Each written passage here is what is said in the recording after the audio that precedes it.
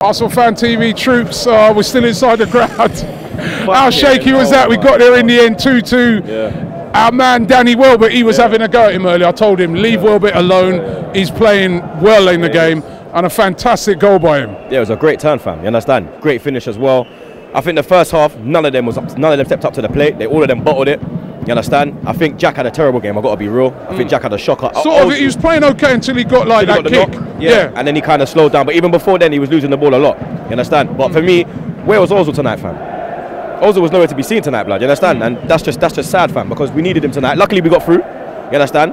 Man like Welbeck, blood. Like he stepped up today, fam. You understand? He's stepping up every week at the moment. He's the unformed player, you know, and you know, I I think that this guy sometimes people don't give him enough praise. I mean, that goal tonight was fantastic. All he made it all, and we was up against it then. Two 0 All they need to do is get one more goal, and we'd be in big trouble here. Yeah, because I'm looking at the clock and I'm like, yo, 70 minutes left. Like, we're not the kind of team that can hold on to a lead. You understand? And we also looked a lot better when Chambers come on as well. We looked more solid at the back before then. But before that, I was shitting myself, fam. Because they were coming, coming, coming. They literally, they had, a, good two clear-cut chances as well. Mm. Before we actually got the 2-1. And, it- and but Fucking hell, Robbie, blood. I'm gonna have a heart attack on one of these matches, you know, fam. I swear to God, blood. This team, fam. Like, but you know what? Yeah, it's, been a great experience. Yeah. You understand? Like, we ain't had no trouble out here. We're getting bare love. You get me? I want to Yeah. shout out DT as well. You Yeah. get me? Good luck for his operation on Saturday. I hope he was staying calm tonight, fam. You understand? he needs to stay stay calm in that blood. You get me? But real talk, fam. Like, big up the Russians. Yeah. Big up Arsenal. Semi-final. You get me?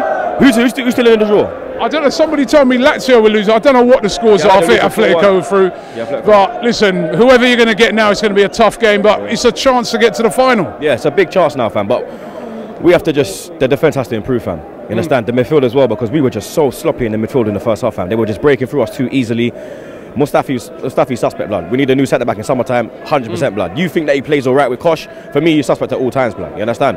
But I'm just happy that we got the win. Well, not the win, but I'm happy that we're through in it. Yeah. Because this is the only route to the to, to the Champions League. So we have to take this. We have to take this very seriously, fam.